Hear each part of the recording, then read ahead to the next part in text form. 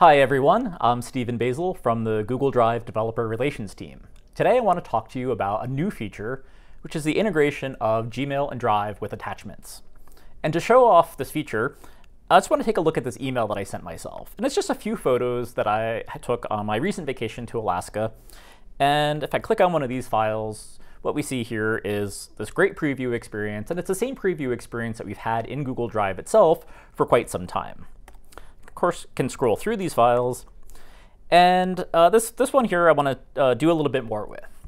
So if you go down to the bottom here, you see this Open With menu.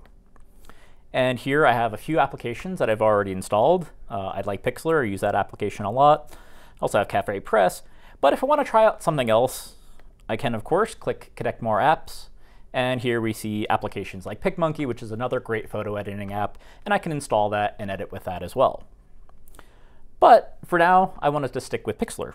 So here I'm going to go back, open with Pixlr, and in just a few seconds here, we'll see the photo open up. The cool thing is, with Pixlr, they didn't have to change anything for this. This is the same Drive application that they've had since we've had this feature in Drive, just now works with Gmail. So if you built a Drive application, this is a great new feature for you. It means a lot more users are exposed to your application, and if you haven't yet gotten around to building one yet, you have a lot more reasons to do so.